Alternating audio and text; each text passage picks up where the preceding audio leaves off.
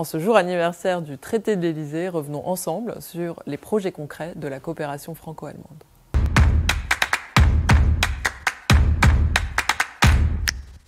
Bonjour, comme tous les 22 janvier, nous célébrons l'anniversaire du traité de l'Élysée, un traité signé en 1963 par le général de Gaulle et le chancelier Konrad Adenauer et qui scelle la réconciliation historique entre la France et l'Allemagne. Il y a trois ans, le traité d'Aix-la-Chapelle est venu compléter le traité de l'Élysée et l'adapter aux enjeux contemporains.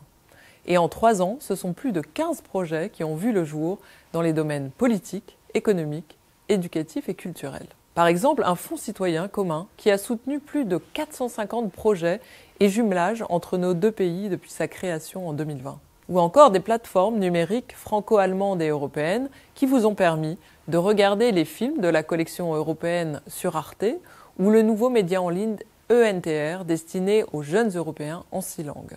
De son côté, le comité de coopération transfrontalière travaille à, renforcer la coopération sanitaire, les connexions ferroviaires ou encore l'apprentissage de la langue du partenaire au bénéfice de nos concitoyens qui vivent des deux côtés de la frontière. Un réseau franco-allemand de recherche et d'innovation a également été lancé, avec des appels à projets conjoints, par exemple sur l'intelligence artificielle.